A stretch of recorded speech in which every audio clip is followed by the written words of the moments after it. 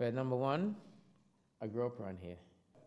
Story I have to tell you that when you come to talk about food, right? I had a friend of mine, a Greek friend of mine, and I used to go and see his, see him and see his mum, and his mum used to always want to cook me all these Greek food because she thought I was too skinny. and every time I go there, she wants to feed me. And I said to her, no, no, it's too much. You know, come on, you're too skinny. so things like that. So Greek food, I had that as well. And I had Indian food, because as you said, we live in a place where it's all different race of people. So I try different things and I get to know different people.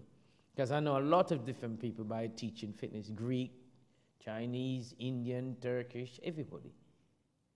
So all these people come here. Ouvertüre, in der Pfade zum Park, zu Pfaden durch den Park werden. Wir berücksichtigen unsere neuen Heime und lernen uns zu unterhalten. I asked my father, where is can I go and play? And he said to me, there's a park over the road. So I came over here and I saw this park. I've been coming here ever since. Geese, domesticated geese, because they had names, there were six. And there was uh, one there who was uh, all white with deep blue eyes, and we called him Frankie for obvious reasons of uh, old Blue Eyes himself. Well, Finsbury Park, as I say, I was only three when I moved there. Uh, I was only with my father. My mother was ill. She was ill with TB. So my father looked after me by himself, and he used to take me to Finsbury Park. Uh, it would be difficult to say what. I know I used the playground, and I know I loved the swing, but whether the falling off the swing and seeing stars was at Finsbury Park or Woodberry Down Estate, I can't be too sure. Yeah. I've never been so cold in my life. you know, when I first came, we came through Heathrow Airport, and I think it was in, in April, and I like, I've never been, been cold since like this because I had to. When I when I got off the plane, I had to touch to see if my ears and my was still there, you know, still attached. You know, it's incredible. I've never been so cold. But then we had uh, Snowy, which was another white one. I called him Snowy. Uh, as, as I brought the names in for the big geese, so the ducks had, had got names and everything else. Uh, well, I suppose you could say youth, stupidity and the services. The movement here does emphasise gender equality as well as ethnic equality as well, because otherwise it would have been hypocritical. Came to England when I was 15 years old from Jamaica. And the first place I came to was Finsbury Park. She's uh, really a saucy little mallard, and uh, we, we call, call, her Lucy. And I hear her, hear her in there say, shut up, Lucy, and she, yeah, we're saying shut, shut up. I'll call her over and she comes straight to me. And I always used to go down to the little shops and do messages, used to go to the library every day, had a scooter that I adored, so one shoe always wore out before the other shoes. These trees are emanating healing vibrations out to all the people and that is one of the reasons why it's so great to be in the park.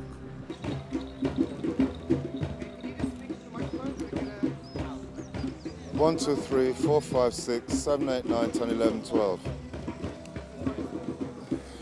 And same as the uh, swans, these a new pair of swans that came in last October. And uh, we're hoping to get some youngsters off them. Well, now they've got the names. They've got names now. And uh, they're, they're responding to the names, which is Rosie and Jim. But I wasn't really interested in the ducks and the dog. I was interested in some way for me to go on a run. And I went over to, came over here and I saw this little dirt, dirt track. That's what it was before. And I started running around because people was running around it before because, you know, when you run in a place where it's dirt track, they leave marks, doesn't it? I used to be in a motorcycle club run by a church um, called the 59 Club.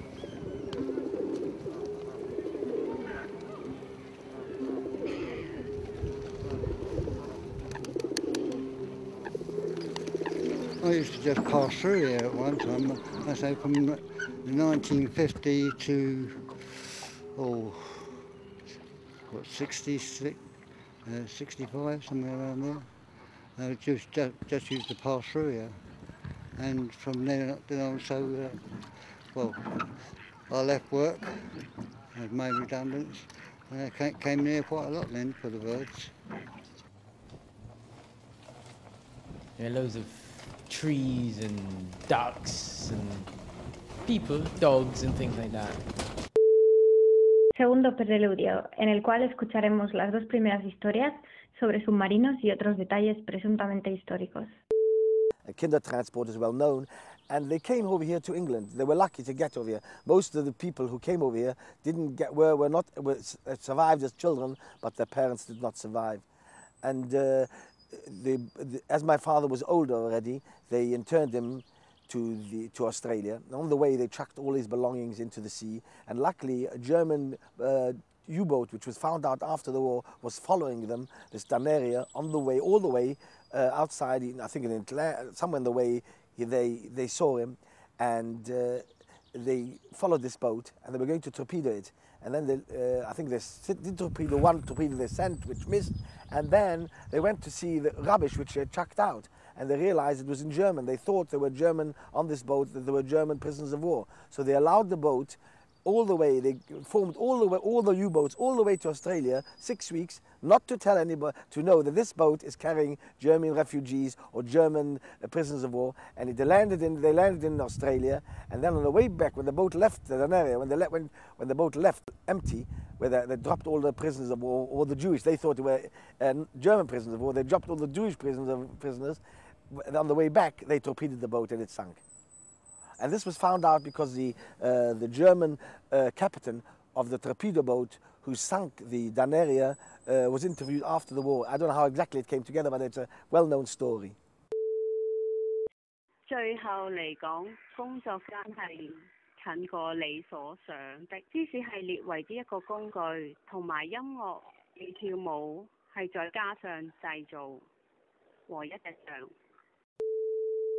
I mean, you can only put so many people, so many people in an area before you swamp it. But as a young girl, I think maybe the answer would be for girls to go around and start rampaging through the streets and cause a lot of trouble. You see what I mean? Because then you'd get noticed. It seems silly, but it seems to be the only way you can get anything done.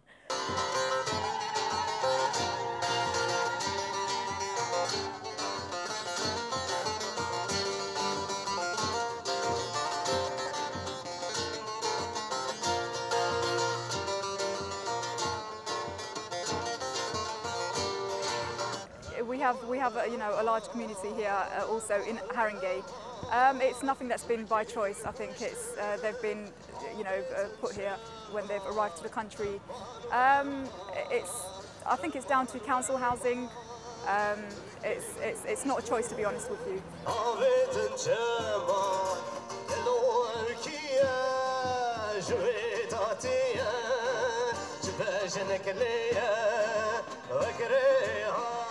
Kepek Gel o erkiye Jüvedatiye Çübejnekliye Ökrihane Nabevi khane Vla bakşane Ejji birzim Şükür istan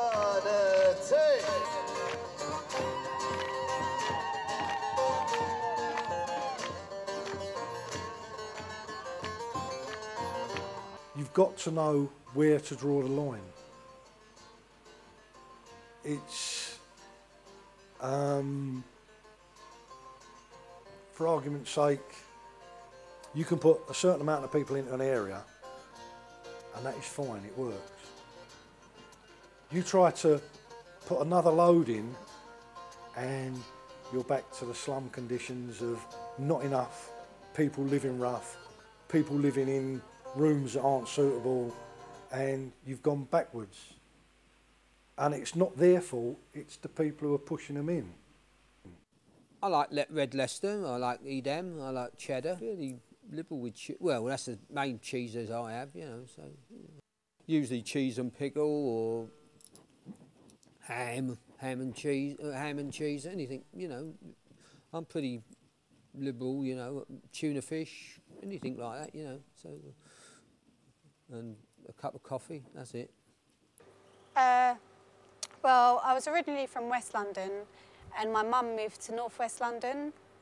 Um, I tried to go to my local borough to get a council flat in North West London, but it was quite hard. So I came over to East London and it was really easy and took it from there, really. We had a massive house because I've got like five sisters and two brothers, so we were a big family when we came, and so um, we have we have a huge house. I'm the only British. No, no, no, no. There's about three British people that are living in the hostel, and everyone else is um, foreign.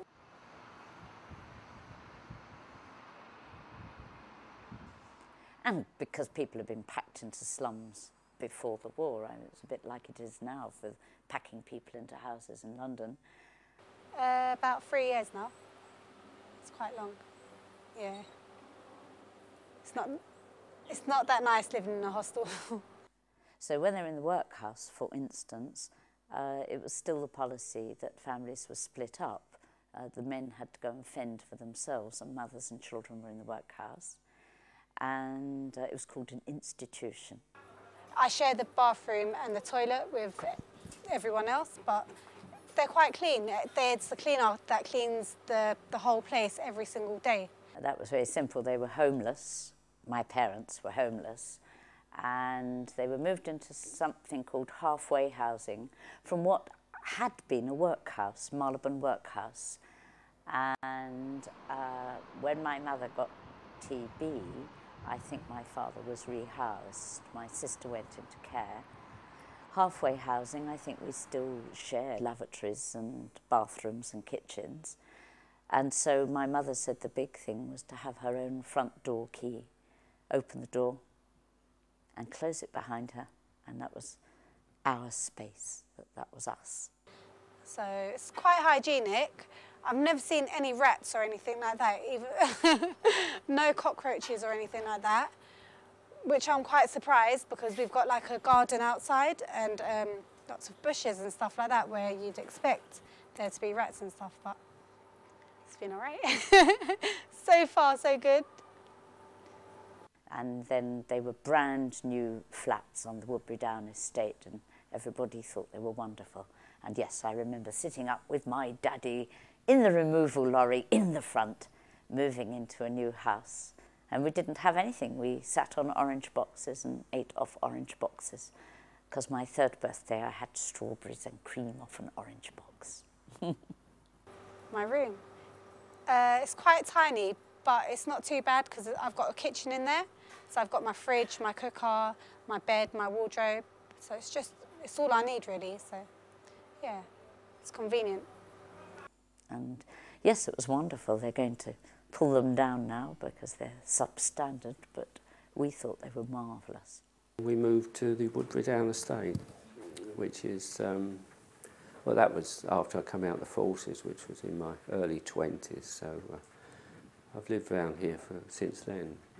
At that time, they were fairly strict. They used to come round at regular intervals to see whether you'd had babies or lost babies or they'd um, gone out to work and all that, so they, um, they were quite strict on it, that the, those um, rooms would remain occupied. And, and when I was a child, I remember there was a specific policy. Each block had 25 flats, pretty well, and there was one problem family per flat, and the idea was that with 24 decent working class families or whatever, then the one problem family could be absorbed. I think they were more or less ready to evict anybody who had a spare bedroom, move, move them into a smaller flat.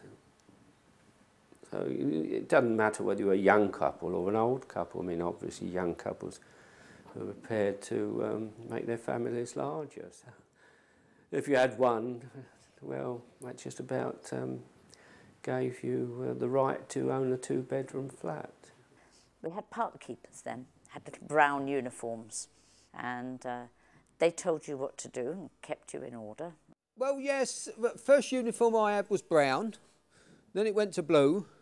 Now, now it's green. and that's the, the last change I, I had was from blue to green. So that's it. It was quite hectic because um, we had loads of shrubs and they were quite high and thick. So that was a, a job to get them down. We had to bring them down to like um, waist level because um, it was too dark and uh, it was quite hectic. So we had to cut a lot of stuff down.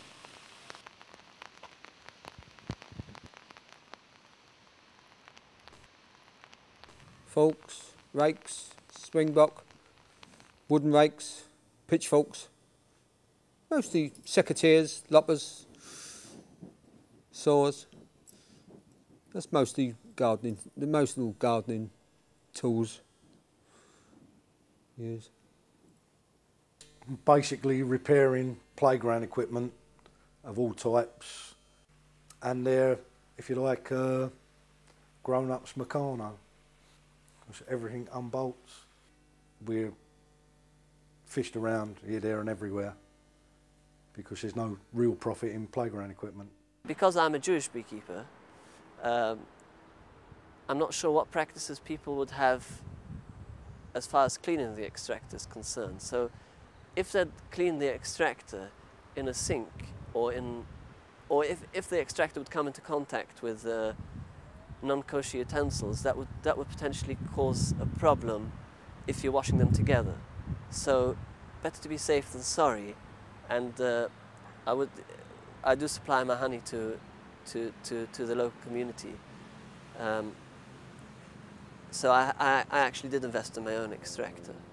Because it's all repair to damage and uh, that's about it basically. You know, there's no profit margin to play equipment. It's always an outlay on the council. Person from education come into the schools when when I was there, and uh, everybody, you know, oh, what do you want to do? Do you want to do this? Do you want to be a fireman? Do you want to, you know? And uh, actually, I said I wanted to be in the forestry commission to grow trees more often than not knock them down. But unfortunately, I was too young for that because I had to go further up the country to either Gloucestershire or that way. So they said, ah, we'll get you into the local council, see if they got something to do with the parks department. So that was it. I went for the interview and uh, to the park superintendent and uh, I got the job. Come in, come in after Easter, April the 6th, 1959. I started on the Monday and that was it.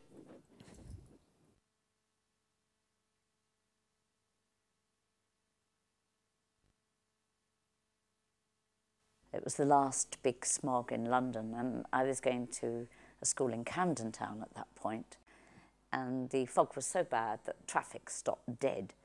So instead of staying on the bus, I walked home.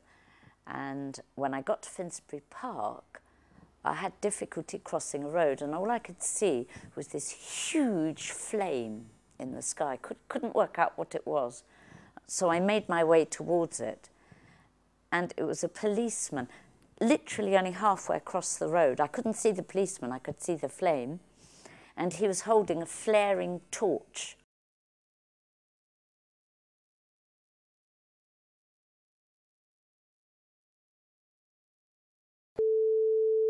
Reprise. A discussion off stage on the relative merits of the alternative, or alternate pronunciations of, leisure and leisure.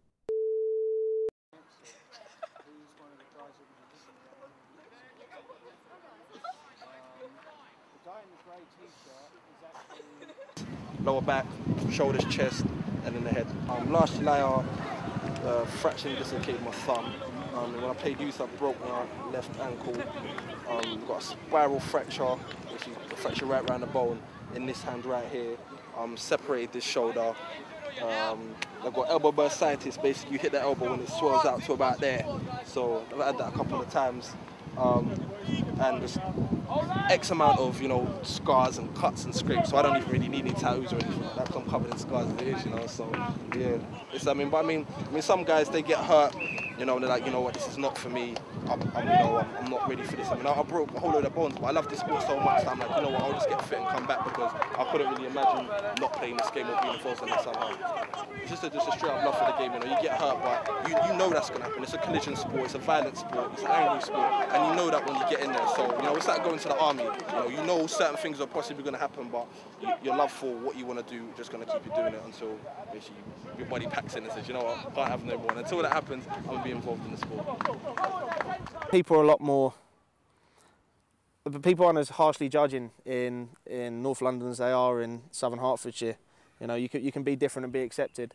Uh, say, for instance, walking about with a pet python in Finsbury Park, some people might sort of take a step back, but certainly you won't have people running a mile or think that you're slightly strange or liable to eat their children or something of a night time. So it's, it, it's, it's because it's a more accepting area. I certainly feel more comfortable in Finsbury Park than I did in than I did in Hertfordshire. Always be someone in the playground supervising everybody. So of course, you know how swings go higher and better when you stand. They, she would always come bustling over and say, "Get down, sit down. You must sit on the chair. It's too dangerous to stand up." So. It's like an adventure, which is how kids should see the play equipment. It's not a swing or a slide, it's an adventure. And the more safe you make the equipment, the less of an adventure it is. I mean, the worst thing, the awful thing, was the dreaded fiasco of the water park. They had the most amazing adventure playground, huge stones, and it was all water. And you had water everywhere, and just absolutely stunning. And we waited months and months and months for this thing to open. And about two weeks after it opened, we went pelting down there to enjoy it to discover that it had been closed. I'd heard it was political, that some, some parts of the various councils wanted it and some didn't. And of course, you can always use an excuse of health and safety. I suppose it probably was risky. It was an adventure playground. What do you expect? Yeah, it was us that condemned it. Um, well, when it was finished, we went down there to look at it. Um, myself and my colleague got on it, and as we walked along, it started leaning because it was set in met posts. And if you got more than half a dozen kids on it, it would have gone over. So we said, you can't open it. And then apparently there was a to and a fro between them and the company, and all of a sudden it was taken out. So obviously it was dangerous, otherwise it wouldn't have been taken out. The fact is they closed it off, they filled it all full of concrete, and it's just sort of been there ever since.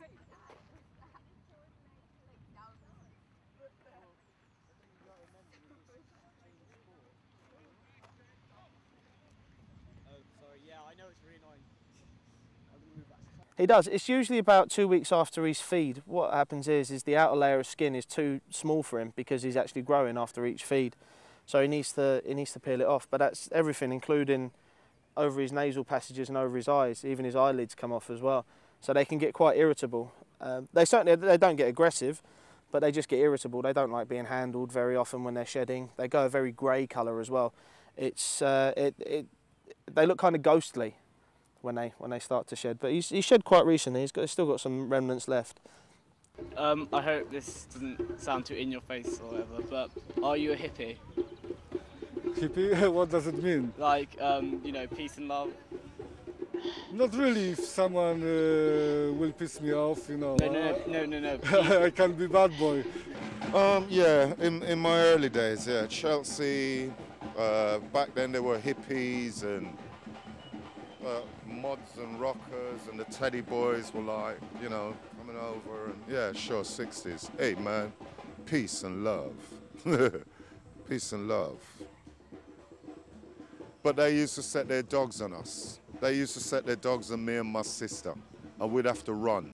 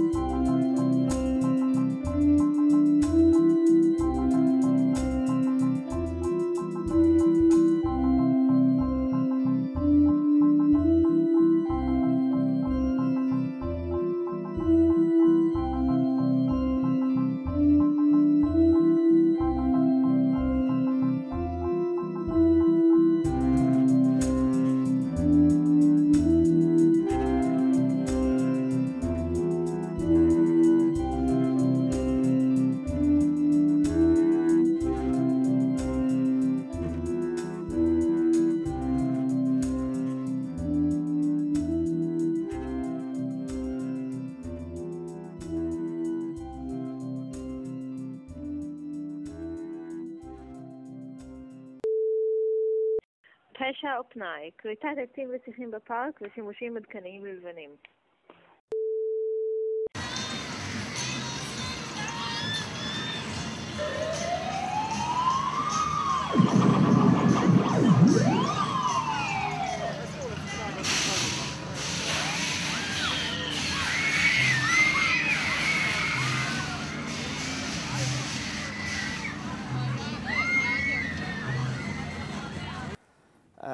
Spoken to a few people who, who only know the area out of rumour, and they said that they wouldn't go anywhere near it. You know, they'd heard bad things about it. But growing up there, I'd, I'd seen a few bits and pieces, but then I'd seen the same thing when I'd moved to Hertfordshire as well. I think that every every community that you go in, there's going to be bad people, bad things. But it, you know, I, I wouldn't have stayed there if I didn't want to. I certainly wouldn't have come back if I didn't if I didn't think the place was safe enough for me. One day I was walking out of my door and I saw a guy like injecting his leg right outside the the hostel. I was like, "What are you doing?" He was like, and I was like, "Oh, are you are you okay there, mate?" He was like, "Yeah, I'm all right, babe." are you all right? I was like, "Yeah, but you know, there's kids that play around here and they just leave their their injections and stuff on the floor and the phone boxes and stuff." So that it's open, it's it's feels safer. However, it's also very exposed. They've taken out a lot of the the really nice shrubbery that used to be in this area. So that's why if you if you go around to the park now, it looks a lot a lot better because you can see right through and you still um, and it's a lot it's a lot safer. I mean, obviously, I heard that there was cottaging and whatever went on there, um, and that was the reason people were scared to go there. Like you might be scared to go to the heath at night, um, especially if you thought you might be mistaken for one of the people indulging in these practices, whatever. The area, Finsbury Park, 1967, somewhat racist. Um, you're talking about skinheads um, and some, some nasty things. So a lot of, I suppose, black guys of my generation who grew up in this area, um, a big percentage, I would have thought, got caught up in that. Um, fights and all sorts of nasty things, you know. Um, but to be honest with you, I think a lot of the residents now are, are taking a bit of more of a stand on that, uh, kicking out people from the stairwells and so on. I mean, me and my brother might do it every now and again when we go and visit my father, who still lives there. Uh, you know, we'll still there'll be people on the steps doing business they shouldn't be doing, and we'll we'll quite happily ask them to move on, and if not, we'll we'll find a way of getting them moved on. Uh, and I, I think a lot of tenants now are, are taking that stance because they've decided that why should they have the grubby, horrible reputation of having the worst place in, in Islington or certainly the area of Finsbury Park. And I think the brothers got upset, you know. I think the brothers got upset. Sparked riots all over the country. All over the country. Yes. Easy now. From Notting Hill, 1976, right up to Broadwater Farm. Was that 85? Think. Can't remember. Yeah, that was a few weeks ago. Um, just recently, they found out that the leader of the Kurdish people, because he's been imprisoned since '99, and um, he's in a one-man prison in Eleven Island, and the lawyers managed to get a sample of DNA, which revealed that he's getting poisoned slowly, slowly. So um, European-wide, they started doing these hunger strikes. The one here was particularly to support the one in Strasbourg.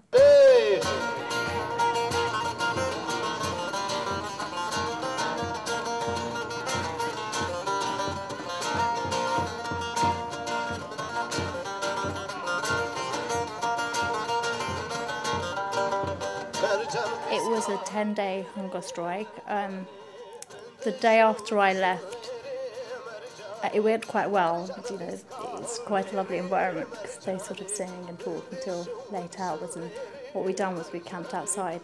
Um, we had Finsbury was just behind, so it was just outside the Manor House station.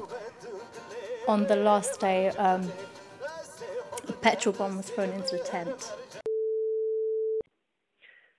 Des matières sérieuses et émouvantes, le parti des cocktails Molotov, la route de l'arc-en-ciel et un message court des Ovaltines. a Muslim lady come in with her prayer mat, and she said, "I've got prayer mats," and um, the she said she was going to say her prayers and explain what she was doing. And she said, what I'd like you to do while, while I'm saying my prayers is say a prayer to your God. It had already kicked off. Basically, we, we, the street was dimly lit, and you see guys left and right um, in that area at that time. You don't really think too much of it. Um, so we walked into it not knowing what was going on until we saw the police.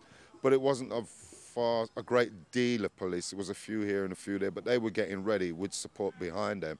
As I said, they had blocked off uh, a road to the left of us to charge down the street. Um, and we were trapped between, you know, the two sets of people, if you like. So when they charged down the street and the guys are throwing bottles of Molotov, Mol, you know. Um, there was some damage done to the tent, I think, but no one, um, no one was hurt because it hadn't quite reached. What happened was um, some they managed to chase after the person, and um, they lost four people, but they found one person hiding under the car. They asked who he was, and he said he wasn't Turkish. The police later on revealed he was Turkish, and they found much more petrol bombs around the park that they hadn't managed to use. It was the time where England needed a lot of people to come over and do labour jobs. So my granddad came over. And then he eventually brought over the whole family. Yeah, it's quite. There's quite a big community where my nan is because they all came over to sort of do these labour jobs, and that's how it all started, really. I think that's the same with um, Blackstock Road with a lot of the Algerians. I, thought, I think a lot of them uh, came over in the 80s, I think, and they came over here to work and then they eventually brought over their families and stuff like that. But I think it's a lot harder for immigrants now to move over abroad. I remember when the uh, blacks came over here at the beginning, when the coloured came from Jamaica and all that, and the bus drivers in 1953 and all them, when they came over here, this area, they came over here, lots of, uh, they came to this area, a lot of them. And uh, they weren't treated very nicely. In the beginning, I still remember when uh, uh, uh, blacks, if you employed a black person, the other English people, the Irish or other English people wouldn't, wouldn't, they wouldn't allow, it. they wouldn't work together with them. I remember they, it was a hard, long, hard struggle on the buses to, to allow the blacks in to come into the, uh, to working on the buses. There were lots of people who didn't want to work with them together. They classed them lower. England was a very different place back then. Um, we had things like shit, excuse my language, put through the letterbox and niggers go home and blacks go back and stuff that you guys probably have heard but wouldn't really understand. It's decades ago. So, um, nonetheless, they still, you know, closed. They 10 day hunger strike with songs and music and dance. But, um, you know, the attack was still done. And it, it sort of, you know, showed that the conflict is still here, even though we're in London. And um, we will still struggle by peaceful means. A lot of ignorance, um, lack of understanding, and probably lack of wanting to understand. The generation today is a lot more open, I dare say a lot more freer, which I don't agree with all of it, but more understanding. Um, I was thinking lately that probably the only successful uh, example of communism is, is the beehive. But uh, I don't know. I, I think that I think that the, the human beings who, who are kind and considerate are probably more moralistic than any other creature on earth. So theoretically, if people have become as self-centered and greedy as I fear they may have done, then as soon as we have some sort of downturn, and we're fairly likely to, Finsbury Park will be very low down the list of priorities and it'll revert. Uh, on the other hand, maybe everyone will come to some age of Aquarius and say, this is terrible, we've all got to be more spiritual, we don't want to spend so much money on things, we want to have a better lifestyle, neighbourhood, so on and so forth. Yes, maybe it will become even better because there's still room for improvement, there's always room for improvement. I have no understanding of God whatsoever, what God is and how to understand it. No understanding whatsoever. You can understand that. People my age, you didn't have social workers and that. The church, whatever your church was, be it synagogue or, or Church of England or Methodist or Roman Catholic, the church was your social worker when you were ill. They were the people who came and looked after you. Natural existence, I think, you know, people from all over the world, all societies, all communities. Um, I don't think I've met an Eskimo here yet, but, you know, I've met everyone else. Um, and, and that's one of the reasons. Um, I like to speak different languages. Um, most of the Kurdish community unfortunately cannot speak Kurdish because it was banned for so long. But um, I came to this country when I was three, and so I had, um, you know, the, the chance to speak Kurdish freely at home. So I know Kurdish pretty well, fortunately, but a lot of the com- uh, Kurdish community do, do not know Kurdish and they have to speak Turkish. And a lot of them also um, introduce themselves as Turkish as well because of this, unfortunately. Mm-hmm. My nan's been here for 35 years, but she knows hardly any English. she hardly, she can only say like the basic words.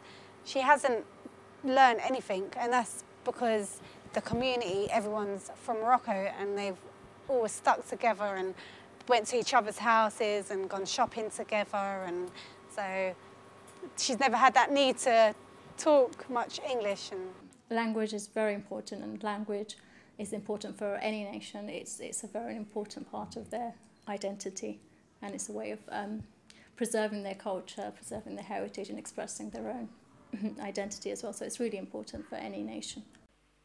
Uh, I will vote for anybody who gets us out. I don't care if it's the Monster Raving Loony Party, the Ovaltinis, I don't care. If they get us out of Europe, they've got my vote. As well as um, problems associated with ethnicity. Um, there's also the uh, patriarchal situation in Turkey. and um, the, the political ideologies that we support um, put a lot of emphasis on the equality of women and men. For a nation to be free, it needs to be free in every aspect, not just political sense, but um, you know, gen gender differences should be um, established as well, and these need to be recognised. And the democratic, you know, process is is dimensional process. It can't be done in in one way. I am a feminist, and um, like most Kurdish families, they, they are patriarchal and they do oppress the women a lot. And um, I, I, was prob- I was the first person in my family who, who managed to break away and were, you know, moved out of London, which would be unacceptable. I think that what, what happens is you join a central spiritual, there is a spiritual up there, and which you, your father was part of and you were part of, and suddenly you join, and your grandfather and everything, and you join this spiritual uh, unity of whatever it was. You join. You came off a bit, and you join. That's the way I can look at it. But you can't see people as a human being because the body is dissolved completely gone. So I can't believe that you see a person and you come back to believing in God as a thing. I believe that you join a sort of spiritual understanding. I don't know exactly, but it's my fantasy that you join a spiritual understanding. Religion was, it wasn't my life and my religion. It was just one thing, and and that's that's a pity. It's not more like that now. Mm, no, I'm an atheist. I'm, I'm pretty revolutionary in every aspect. no, I, I'm not religious. Um, I was like, my mom is very religious. She sort of prays five times a day, doesn't have a clue about Islam. It's more about the cultural thing that she's grown up to. It's like, you know, never having to read the Bible, but, you know, going to church on Sunday, for example. It's, she's like that. Um, my dad was never religious. My, my father's parents were Polish Jews. Uh, my father's my father's grandparents came here, I think it was in the 1930s, uh, just they came here for, uh, on business and, and they, they managed to, to settle down here and um, establish a, a, a, wine business in the East End of London. Um, then my grandfather and grandmother actually came here in 1938 or 39 when, despite the fact that they weren't married yet together, but they were engaged to be married. And although it was quite unusual for a, a, a, boy and girl to travel together, um, because of the because of the problems there was in, in, in, in Europe, where where where Jews would start to be uh, to be persecuted and people weren't sure what their future would be, they were advised by the rabbis of the time that it would be permitted for them, despite of our sort of segregationary um, practices, for them to travel together as a couple because that would probably have been the only way. She she got she got married eventually, but um, okay, it's a bit difficult to explain. But she she got married in Tur- to someone in Turkey, and then um, when she came here, he went to the army, and she changed her mind. So she got a formality marriage done, but then she changed her mind, and the people there are even more radical, and they said this can't happen. So then she had to elope with the person here, and what happened was they said, you either shoot down both of those people, your sister and the, hus- the new husband, or you send over another daughter, which was me at the time, because that's the deals they make. Um, fortunately, I managed to get through to the social services and stop the whole visa thing, and I saw- also left a gap here. But um, at the end of the day, she had to elope. She she had no choice. Either she would be sent there and punished or married in that sense, or she had to start her life again here. So, um, I mean, there are various explanations for that. I mean, a lot of girls here, because they're sexually oppressed so much here, they're not allowed to have boyfriends for so long. When they do go on holiday, they fall in love with the first guy they see, and suddenly they, they see as an escape route, and they don't realize that they've actually gone into something that's much, much more worse. Um, my sister realised this a bit early, well, too late or early is debatable, but as I said, um, there are very different mentalities that still exist, you know, in the 21st century. My mother always thought it was a nice idea to be uh, say prayers when you have something physical to help, when things were difficult. If, when there's nothing to worry about, prayers are quite easy to say. When things are difficult, you need something to uh, to get you to, to do something. And so she used the rosary. I don't know, it's just nice to change lifestyle sometimes. It's not good to be in all your life, so yeah. Officielt kendt under navnet Blå Kapitel, et sted for smukhed og meningsløs. Det, der ikke kan sættes i bås, diverse og ellers andet sted. Don't give away any mommy secrets, honey.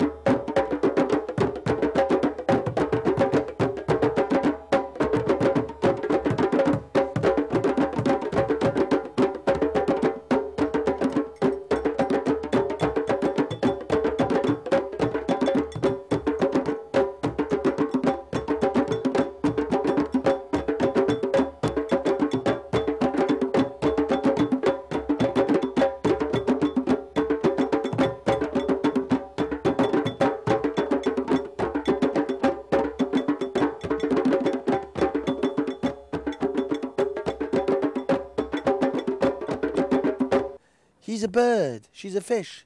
Where will they live? Yeah? Críoch nú agus i nearan na dála an doris scéal faoi tomú. Tá an críoch le ná seannachas cé mar atá sé. agus tuid gur hepáir in na álinn cin nuint comparádach an bhechere cacharach agus túhhuiil. If when they say everything goes into slow motion, believe you me, that's true. I saw the ceiling, it was lit up, and I saw our ceiling coming down very, very slowly on top of us. Finsbury Park, funnily enough, and Blackstock Road, there are a lot of people who sort of say, oh, it's very run down, oh, it's poor people, oh, they're all outish, whatever. Finsbury Park was always like that. Finsbury Park always had a bad reputation. It's just then it was white working class and now it's not. it's uh, and as for Stroud Green, again, it's not an area I knew when I was young, but I can see even since I've moved back to North London that Stroud Green is becoming slightly gentrified compared to. So Finsbury Park has not changed. I mean, Clissold Park is the funny one because uh, all of that area was poor, very poor when I was young. Slums around Stoke Newington. But you go to Clissold Park now and it's all yummy mummies with their fantastic buggies and their children in their designer clothes and their fancy stuff and so on. So that's completely changed. But it seems to me that Finsbury Park still serves a purpose for people who haven't got gardens and money and resources and lots of toys and this, that and the other. We had nothing left my bike was behind our front door and it was a mangled mess of metal. The front door was glass, hadn't got a crack in it. And up on the first floor where our living room was, there was the mantel shelf with all the letters tucked behind the clock, my mother's rosary hanging there, and so on. And my, the record that I, I put in the box was found in the garden of the house opposite. And that was the only thing we got out of the house. We didn't get anything else out. And my brother came out absolutely, um, absolutely untouched, like we all did. My middle brother, who went in the Navy and uh, into submarines and oh, he, that was, he was 12 then. So it would be seven years later, a ship Swedish ship collided with his submarine just outside Rochester and he was never found again. Nobody was of the actual crew, only the officers who were having a party on deck. And we've never, they never made an investigation, they never gave any information out. Even the Guardian tried to find out what exactly what happened. But it was what wasn't reported until they picked the officers up onto the ship that hit them and they didn't report for five hours what had happened. So nobody was there to pick the sailors up when they came up. They would just stay down for a certain time and then come up. Nobody there. So that was um,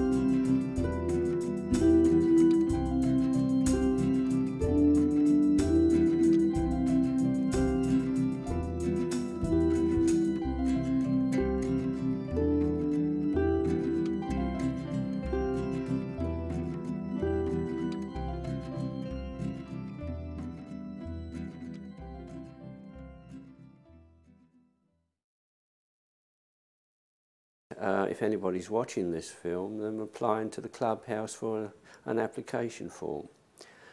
So um, we hope this will be successful in our respect and uh, hope that maybe people will come along and at least watch the game and see what they think of it and um, agree to taking part.